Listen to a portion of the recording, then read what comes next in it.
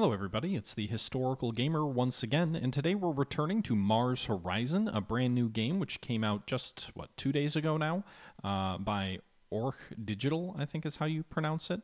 Uh, this is a space program management game. There's a lot of similarities to, Buzz Aldrin's Space Program Managers, which I think is one of the one of the best games out there on this, and I think this does a really good job as well. I really like the sort of uh, the UI. I love the art style that you see in the mission screens. I think there could be a little bit more challenge, a little bit more danger. We're playing the normal difficulty, and so far, really, we haven't felt a lot of difficulty. But this is part two of our first look or our first impressions. This was taken from a live stream from my Twitch channel, uh, so I'm going to jump back into that live stream. I hope you guys do enjoy the video. We are working our way through the tail end of the tutorial in this video. So we've been reading a lot of stuff that comes on the screen based on the tutorial instructions. That'll be a little bit lessened in this video compared to the previous one, uh, but we are still working our way through. We've accomplished the first mission before anybody else, getting a test rocket into low Earth orbit, and our next objective will be to be the first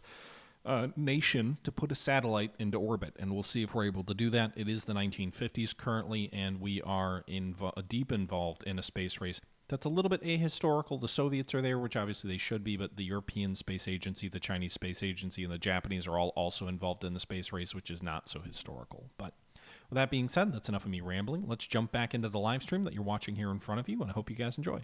Orbit, so we'll need a more advanced vehicle. We'll need to either need to go. We'll need to go down the upper stage and and, or I guess we need a booster and an upper stage. So the next booster is going to be the Vanguard. Uh, replace Explorer with Vanguard. Cancel. Explorer.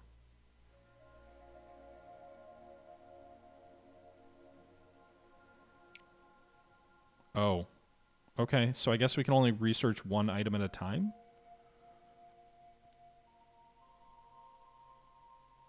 Hmm. That's annoying. That'll take two months. Maybe if I if I get new buildings, then I can uh, research multiple things.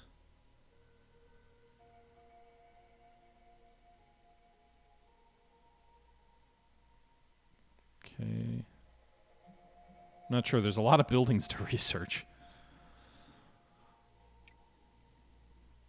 Uh, base. Can I do anything here?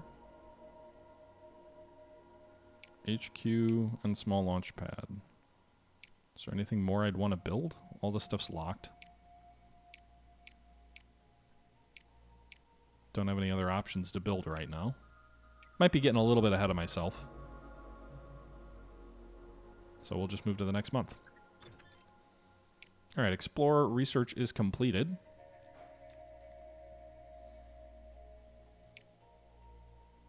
So that's the second check mark here. Sorry, what do I need to do now? Build a mission payload?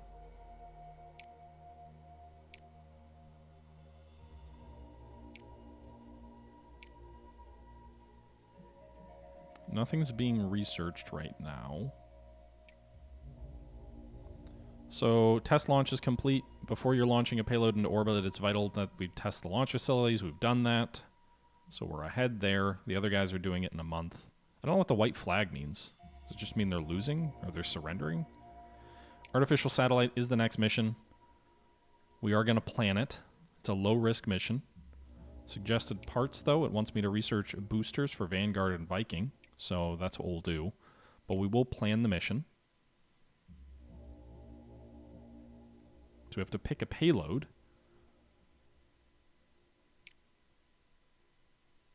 So the payload for the mission will be Explorer, which we've already researched, which was the first American satellite, I believe. It's a crappy payload, though. It's only one star out of five. 65% reliability. It also has a mass of 15 kilograms, which matters in terms of our booster's ability to lift it up into space. There's different variants here, so it has available variants can be used for further customize the payload for your current mission. Each variant has strengths and weaknesses compared to the standard version of payload. So there's standard. We can go with comms, which reduces the reliability but improves communication modes modules. So it's a two-star payload. Doesn't change the cost, it doesn't look like. I don't think the original did the original Explorer communicate back with Earth. I'm not sure if it did or not. There's also a prototype payload which reduces payload further, but it drops the payload cost, so it drops reliability from 65 to 50, but it saves us half the cost, so we can launch two of these for every one of these. And then there's a power one, which increases power and build increases build cost. I'm not sure what the power means. It's used in mission tasks to gather resources, counteract errors. It can provide vital safety net, but is not but is always in short supply. Okay. We'll just go with the standard one. Short range comms module, planetary observation.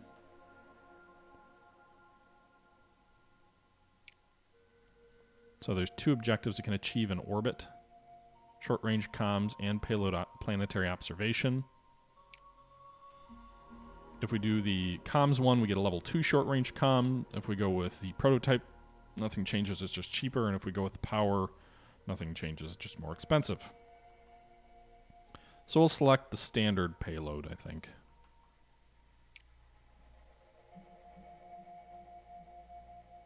Uh, probably multiple streams, Sebastian.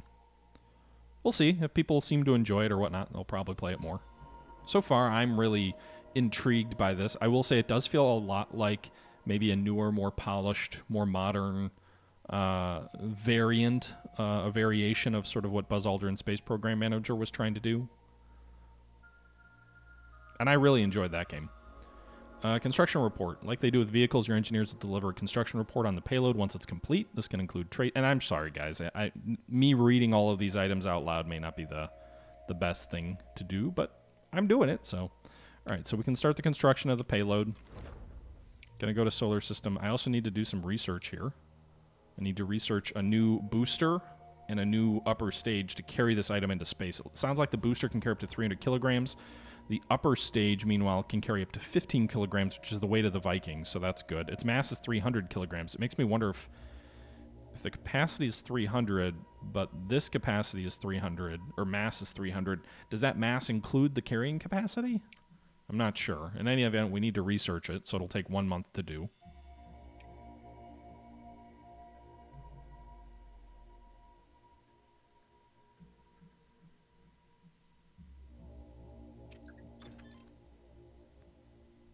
Hate the game, not the player. Sorry, Sebastian. Do you not like this game, or are you talking about Buzz Aldrin? Uh, the small liquid fueled rocket designed for launching basic satellites into Earth. Vanguard is complete.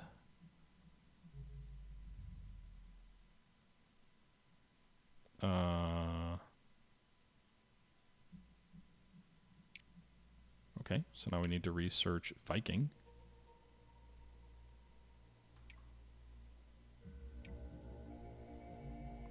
I don't know why it's giving me, uh, I think it wants to tell me to do. Test launch atmospheric sampling. It's a great way to supplement your agency's resources, especially as they don't require any further research, just a free mission slot. Each request mission is only available for a set amount of time, so they're requesting that we do some kind of atmospheric testing, a suborbital sounding rocket to measure the effects of solar radiation upon the upper Earth atmosphere. Okay. I can't do it. It's available for... The mission is length is one month.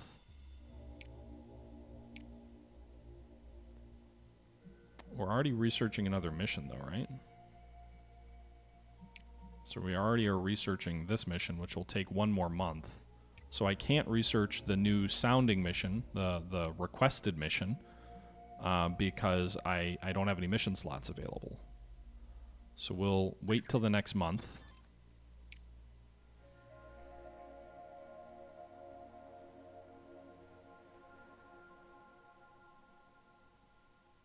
Okay, so our engineers managed to vastly improve the payload's scientific instrumentation, yet predict reduced compatibility with the launch vehicle. So reduced launch reliability, but increased scientific reward. So we can immediately go into launching this mission. We'll have to design a new launch vehicle. So it's going to kind of walk us through that, but I, I think we can probably figure it out. So we'll have to pick a booster, which the only booster available to us... Okay, fine. I get it. Active. So there's the only available booster is the Vanguard booster, which we just completed research. and that has to be able to carry the upper stage, meaning its lift capacity must be at least as large as the upper, at least equal to the mass of the upper stage, which, which will be, uh, because the upper stage mass is 300 kilograms. Um, they gain experience levels every time they're used in launch, up to five. So each time you increase your level, you increase your liability. Um, you can see here there's other different boosters, but we have to research all of these before we can use them. So we'll go ahead and use the, the Vanguard booster. We'll go ahead and pick an upper stage now, which the only available upper stage is the Viking. So we'll go with that. Ooh, that looks nifty. Yes.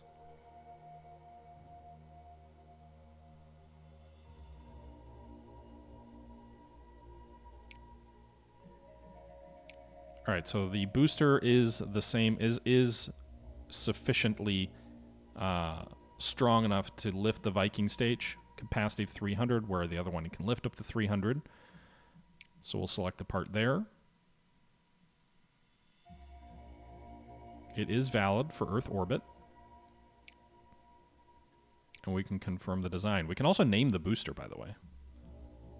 So we could name it uh, the Sebastian.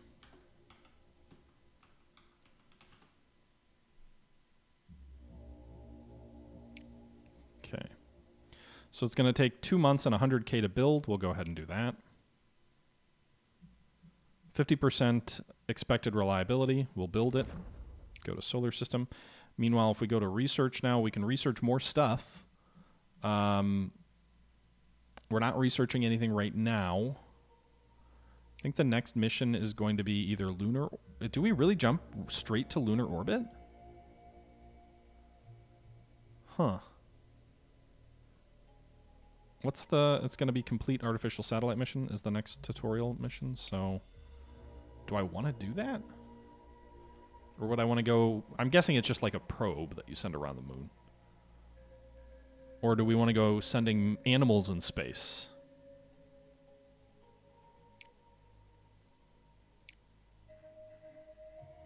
Or do I have... Well, I already have one mission, so I can't... I don't think I can research a new mission right now. Let's just do a new vehicle uh, that has a little bit better booster. So we will go with 1200 or 1000. The cost is 130k. I don't have the money for the Jupiter booster. We could go with a, a new upper stage, which would have more mass. 500, 350, or 500. 50k, 100k. So upper stage, Scout. One month, 50k, 1,000 mass, capacity of 500. Why is the upper stage so much, it carries so much more and it's not nearly as heavy?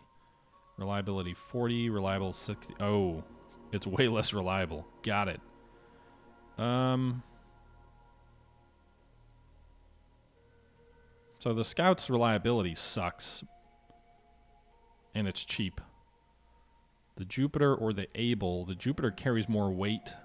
It's slightly less uh, slightly less reliable. It can they both can go to the moon.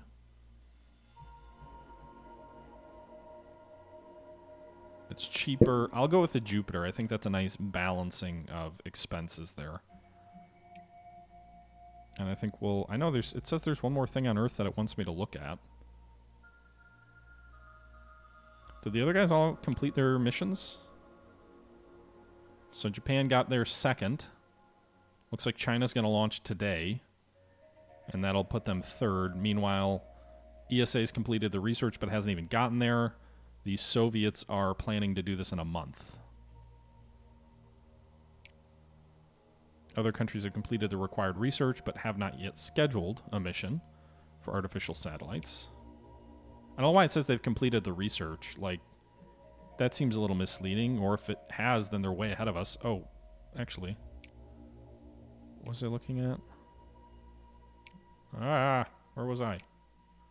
I don't even remember. Okay, so I still don't have any mission slots to do the atmospheric testing. So we'll do one more month. China completed their test launch. One more month. Jupiter research complete. I think our mission research is also complete, so the artificial satellite vehicle is completed.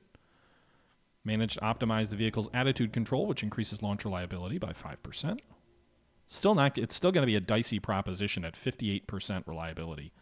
Payload is 65, the launch itself is 58, critical failure 11%, negative events 32%. Another uncrewed mission. Looks like November is an optimal launch period, so we'll go ahead and just schedule it right away. Confirm the mission setup. Go to solar system. Soviets completed test launch their fourth. The ESA is way behind. We also completed the research of the Jupiter upper stage. I'm going to go, do we want to go with Jupiter lower stage? Yeah, it's more reliable than the Algol. It is more expensive, substantially so, double the price. Does also cost an extra month to build. Although, but it also carries 200 kilograms more weight. And we need the Jupiter lower stage to carry this because the booster I've already researched, the Algol can't carry anything more than a 1,000 kilograms, and this is 1,200. So I've kind of forced my hand. I'll research Jupiter lower stage.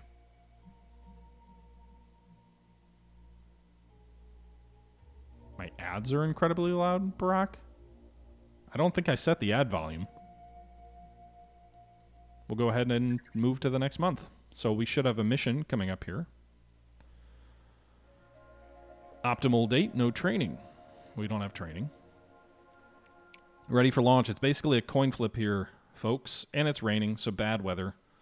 Again, we're going to have to scrub another launch because I'm not going to launch in rain. Not with our reliability levels so low.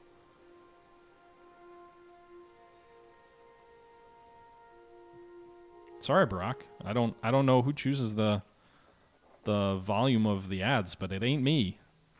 Let's reschedule the launch. We're ahead of everybody else. I'm not to blow my rocket up here, so we'll just move it into December.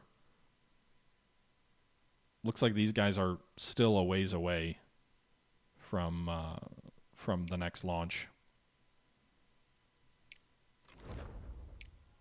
Houston has a chance of of falling bird poop while raining. well, Sebastian, I don't want to blow the rocket up that's named after you.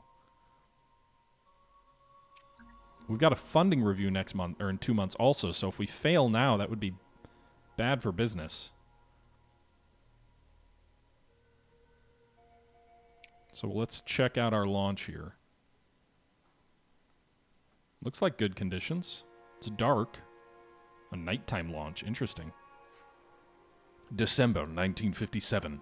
Sebastian, ready for launch.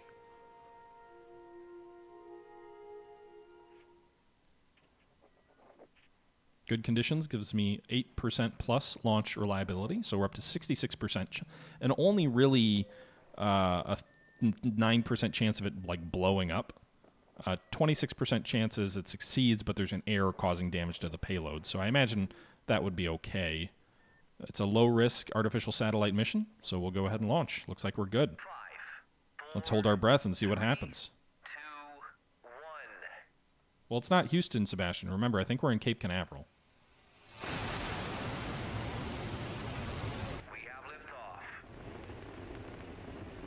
I really like the visuals in this game. I like the art style.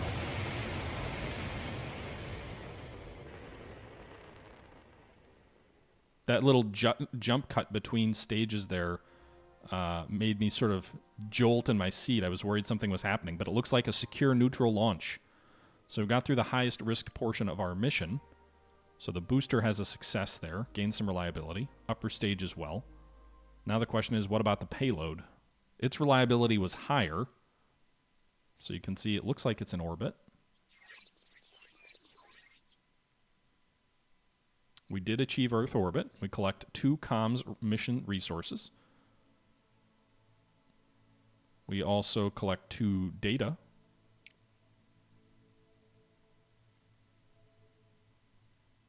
During mission tasks, you'll need to issue commands to the payload in order to achieve task objective. Okay, I don't know what that means. Current objective is shown here. To successfully complete the task, you need to generate the required resources. So we need to generate two comms. Resources are generated via payload commands. Each command requires a specific output in order to gain an output of resources. You'll only have a limited number of commands per turn, so choose each wisely. So we have two commands. Okay. All right, so we have two commands we can give. We need to get two power and two data to succeed in our mission. We get bonuses at three and three. So we get a 50% bonus. Um, so we can go with the signal return relay test. Uh, okay. Looks like we have four power that we can use. So there's a, a limit on how many things we can do. So if I do the visual data collection, I don't quite understand that. It looks like the input of two power maybe and two... I, I don't quite understand what this is telling me.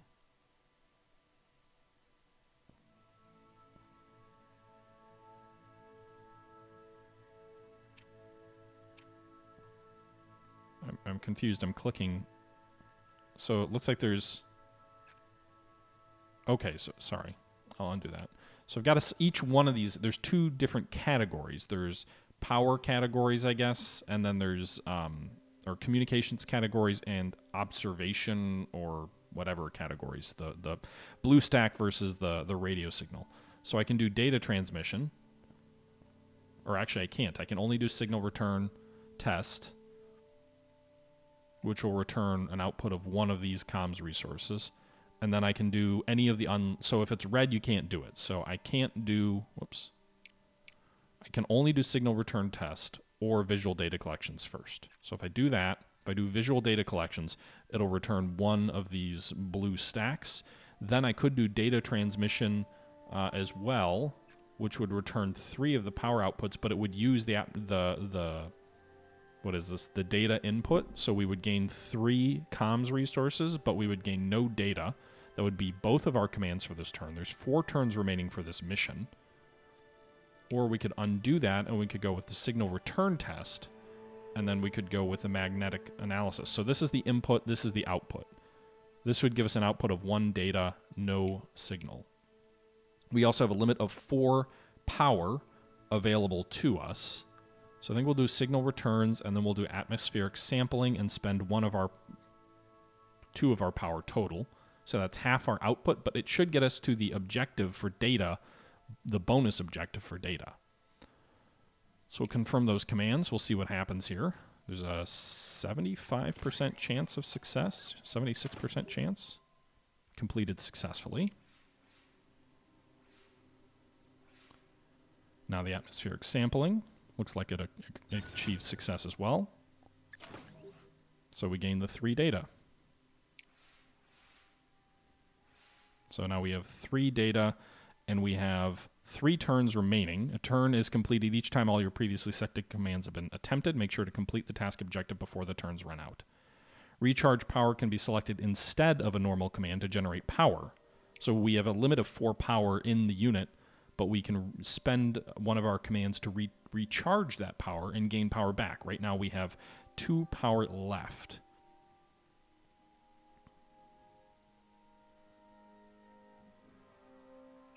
So we can spend one of our data here to do a data transmission and spend one power. Then we can also choose to um, spend one more of those magnetic field analyses uh, to get one more data back, and that will get us to two and three. Or we can drop that and we can do recharge power, and we'll have three comms and two data with two turns remaining. So that's what I'll do here. Again, there's a chance of failure each time we do this. You can see a 35% chance of failure.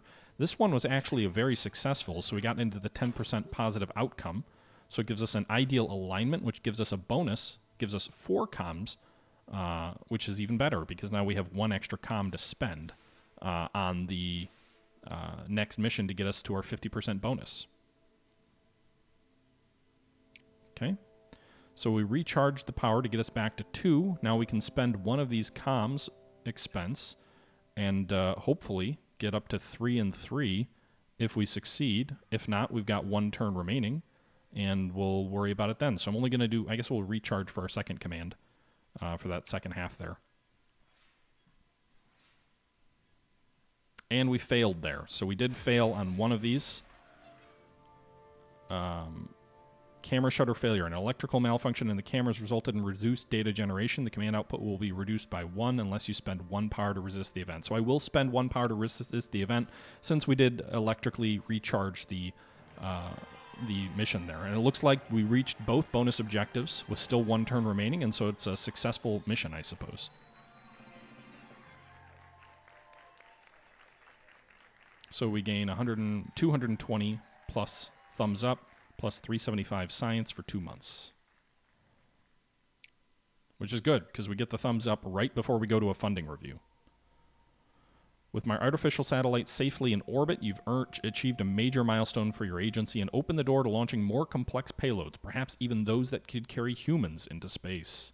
For such formidable challenges, it's crucial your mission staff receive the right training. This can be of great benefit to a mission, increasing key stats such as whatever this wrench thing is and research. Construction, constructing the appropriate buildings in your base will unlock new avenues of training, research lab, rocket test pad, and the spacecraft assembly. Okay. So it looks like we need to build one of those new facilities. We also want to build a mission control and complete a request mission. Meanwhile, we are first with a test launch. We are first with an artificial satellite. We're like half a year ahead of anybody else, which is good, you know? Uh, our support is 500, so I guess I was wrong. That being out of out of uh, out of a, a, base of 100. Looks like there's tiers there, so we unlock the next funding tier as long as we're above the 150, which we are comfortably above. And so again, each each I gotta say, each one of these design elements seems very familiar with Buzz Aldrin, except I feel like the way it's presented and done might actually be a little bit better. All right, I'm gonna do the launch atmospheric sampling with our sounding rocket. Since it is a bonus mission we can do, we don't have an immediate uh, need to do, you know, another mission at the moment. All the other missions are currently locked. So we're to go ahead and do this. Only a 40% reliability rate, but I'm going to go ahead and do it just to try and get a bonus mission, a request mission unlocked. Um, I'm also going to go into our building here, and it wants me to build a new, or sorry, what does it want me to do? It wants me to build one of these. Well, I've got to research them first, don't I? So I've got to research the, the buildings, which means a, a research lab, which will increase the uh, scientific yields from missions. A rocket test pad will allow further, more rigorous vehicle tests, resulting in more reliable launches. Or a spacecraft assembly facility, uh, which develops complex mission payloads. I'm going to do the rocket test pad because a rocket blowing up will be less less than ideal. Uh, this will. oh wait, so we're currently researching something, aren't we? We're still researching Jupiter. That'll finish uh, tomorrow, I think. Well, I can pause the research. How long was this? Will this take? Three months? we'll resume that research. We'll just jump forward another month. Funding review fears over artificial satellite. Following your agency's launching the first artificial satellite, several foreign newspapers have claimed that satellite represents a global security threat. Japan have requested that your agency re- release the full specifications of Explorer payload to prove to prove its scientific purpose and quell public anxiety. Your advisors believe agreeing to the request will impl- improve your reputation with Japan, though the latter will gain scientific information from it. I'm not too worried. You know, we've got a neutral relationship with Japan. I'm not too worried about sharing research with Japan. So I'll, I'll share the specifications with Japan. They gain 25 reputation, but they also gain science from us. Okay, budget review. Your agency's performance over the last 12 months is reviewed and your budget been, has been adjusted accordingly. So we actually jump up two tiers from budget, and that goes to 105,000 per month. Um, the next tier is 131 per month. So it looks like we get them researched every um, every month or every sorry every year. Okay, so we finished researching the Jupiter launch. So now we need to go ahead and research the. Uh, okay, all right. So we need to research the next either rocket or mission. It wants us to research, or, or sorry, building. So probably rocket test pad. Uh, to increase reliability of our rockets. I don't want rockets blown up, even though it might be pretty and fun on stream.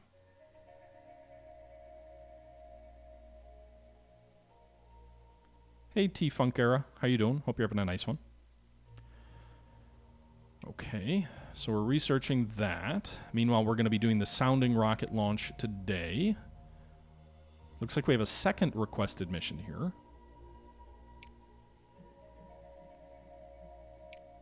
So ionospheric measurements would be in the next one. So this would require putting a satellite into, into orbit. We'd get substantially more science and thumbs up from it. But we're already in the process of doing the atmospheric sampling, so I guess we might as well continue that.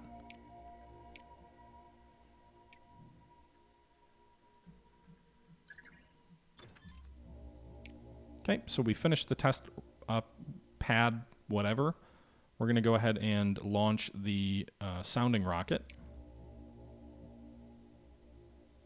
Pick a launch day.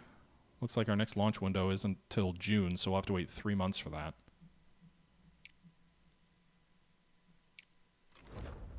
I don't want to take a risk at a suboptimal launch window. Meanwhile, it wants me to build a rocket test pad for 100K. I can put it... it doesn't look like there's really negative results to putting it anywhere. As long as we put it adjacent to our rocket pad or to our hangar, we get positive stuff. It's cheapest to put it here. It's 100K. It gives me plus one launch reliability if I put it right next to the assembly building, so we'll do that. Actually, the nice thing is with the delay in our launch, it should uh, spark a more reliable sounding rocket launch. Okay. Meanwhile, we're going to research. We finished researching the rocket test pad. We've already researched the Jupiter booster. Probably start researching either a mission animal in space or lunar orbit.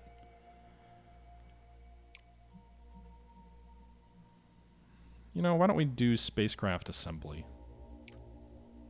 I'm trying to build the foundations of a strong uh, space program. Animal in space we'll do next. SpaceX research, uh, AJZR? Not, not yet. Mission operations. Wants me to build one of these. Well, I am building it. So we'll move forward to the next month. Radiation belts discovered. Data from your recent artificial satellite mission has confirmed the belts of trapped radiation surrounding the Earth, shielding the planet from the sun's cosmic rays. Gain 200 science. Nice. So the spacecraft assembly facility research is complete. I wonder if that's because of, if it completed early because we got uh, the 200 science bonus. I thought it was supposed to take three months. Or no, that's the build time, not the research time. The research time is just based off of how much science you have.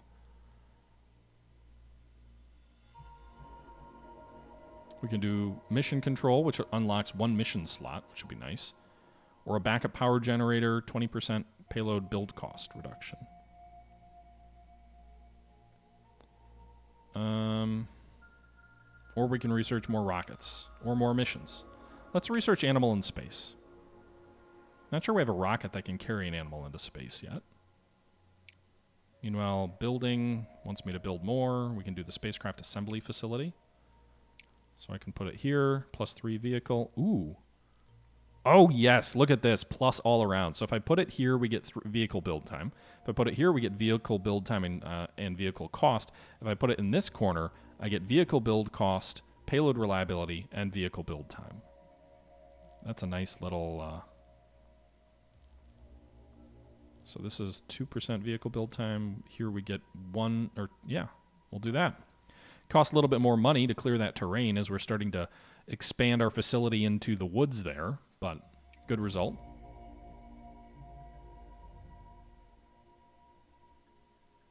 Okay.